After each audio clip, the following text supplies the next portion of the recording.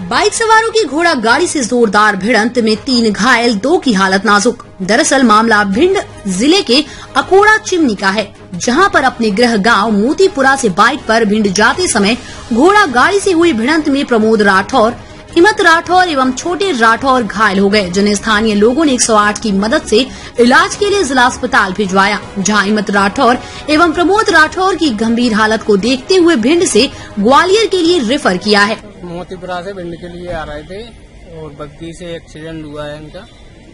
Bhind hospital में दिखाया उनको उनको रेफर ग्वालियर के लिए कर दिया गया अकोड़ा चिमनी पे किससे एक्सीडेंट हुआ है? बग्गी से हुआ है घोड़ा वाली जो ईटे वगैरह ढोती है उससे। मतलब घायलों के क्या क्या नाम है? घायलों के नाम एक का प्रमोद राठौर है एक अमित है चाचा का लड़का था एक बहनोई था। क्या, क्या कारण रहा एक्सीडेंट का? अब ये सर नहीं बता सकते हैं क्या कारण नहीं मैं तो भिंड था। आपके कौन है ये? एक हमारा उसमें चाचा का लड़का है दो। एक छोटा वाला है उसकी तो मतलब थोड़ी खरोच रोच है एक ज़्यादा सीरियस है उसको ग्वालियर गया तुम्हारी ये कौन लगते हैं? एक हमारा बहनोई है दो चाचा के लड़के हैं। तुम्हारा क्या नाम है? हमारा संजीव राठौर।